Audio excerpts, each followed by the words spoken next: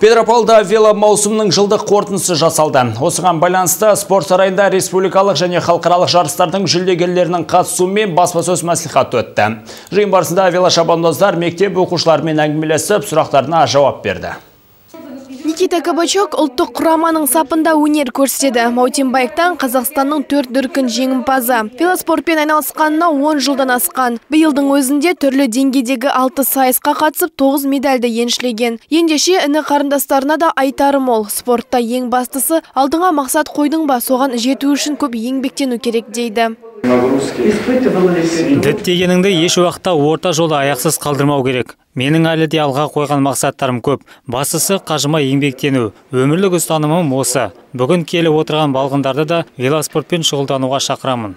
Кездесуде жас болса да бір талай табысқа жетіп үлгерген велошабандоздарға оқушылар қызықтырған сұрақтарын қойды. Олардың жетістіктері жайлы әңгімелерін ынта қойып тыңдады.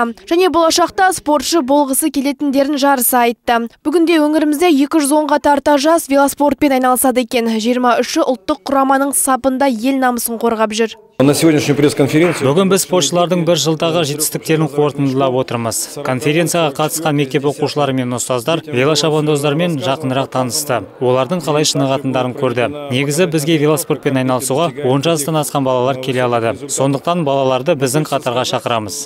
Бұдан кейін балаларға спорт сарайында экскурсия өткізілді. Олар велобазадан бөлек жеңіл атлетика манежі мен хоккей кортын аралады.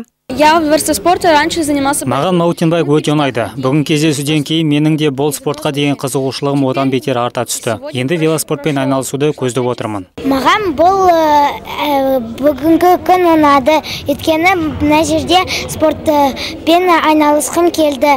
Мына жерде жүгірдеміз, ойнаймыз, спортпен айналысамыз. Айсұлу Серғали Қызбек Арықбаев, муниципалдық телеарна.